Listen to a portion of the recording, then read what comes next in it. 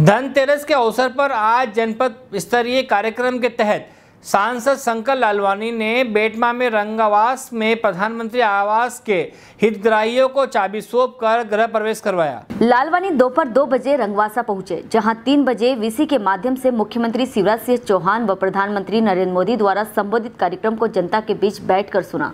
इस दौरान सांसद ने गाँव के छोटे छोटे बच्चों को फुलझड़िया बांटी और ग्रामीण महिला पुरुषों से भी मुलाकात की। सांसद ने गृह प्रवेश के लिए हितग्राहियों को ढोल धमाके के साथ गृह प्रवेश कराया और हितग्राहियों को प्रमाण पत्र भी सौंपे।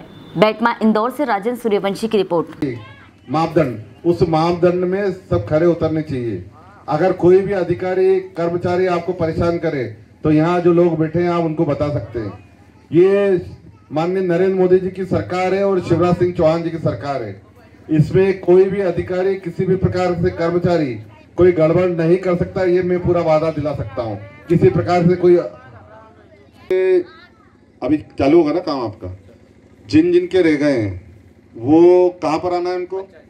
पंचायत में आना है। और कितने बजे से कितने बजे तक बैठते हैं? साढ़े दस से. मैं इसलिए बोल रहा हूँ कि ये रिकॉर्ड हो रहा है। अगर नहीं हो तो मेरे को बताना। साढ़े दस से पाँच बजे तक ये मिलेंगे।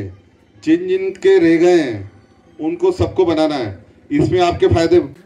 आज माननीय प्रधानमंत्री जी ने पूरे प्रदेश में साढ़े चार लाख घरों की चाबी घर के मालिकों को दी। ये एक बहुत बड़ा तोहफा है उनके लिए, जिनको पक्की छत नहीं थी। ये बहुत बड़ा तोहफा है उनके लिए, जिनके मकान कच्चे थे।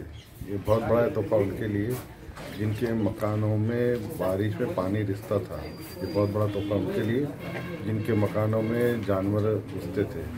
तो एक अब पक्के छत में हमारे सभी ये लोग रहेंगे। अगर हम बात करें साढ़े चार लाख घर, इन लगभग बीस हज़ार लोगों को इसका फ़ायदा, बीस लाख लोगों को इनका फ़ायदा मिला है। तो एक बहुत बड़ी योजना है और आने वाले समय में जो शेष बच्चे हैं, उनके भी ऊपर काम चल रहा है।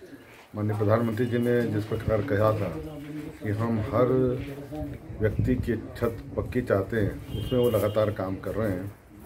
बीच में एक समय ज़रूर ऐसा आया था कि कोविड के कारण कुछ समय लगा अब काम तेज़ी से चल रहा है। और जब मध्य प्रदेश में पंद्रह महीने कांग्रेस की सरकार थी, उस समय एक लाख चौंतीस हज़ार जो मकान की किस्त थी इसकी, ये मकान की, उसको उन्होंने वापस करा था।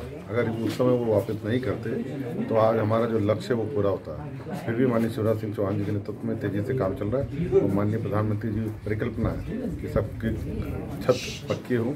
और उसके साथ साथ आज हमने आयुष्मान कार्ड भी उनको दिए। और उसके साथ साथ पर्ची की पात्रता, ताकि बाकी सुविधा भी उनको मिल सके। आज गाँव वालों ने माननीय प्रधानमंत्री श्री नरेंद्र मोदी जी को बहुत ही शुभकामनाएँ बधाई, धन्यवाद दिया कि दिवाली उनकी एक प्रकार से दिवाली के मौके पर जब घर मिला तो एक दिवाली का इतना बड़ा तोहफा माननीय प्रधानमंत्री जी ने गाँव वालों को दिया। हेलो फ्रेंड्स आप देख रहे हैं हमारा channel S W twenty four news हमारे सारे वीडियो सबसे पहले देखने के लिए आप हमारे चैनल को सब्सक्राइब करें और पास में लगे बेल आइकन को दबाना बिल्कुल भी ना भूलें।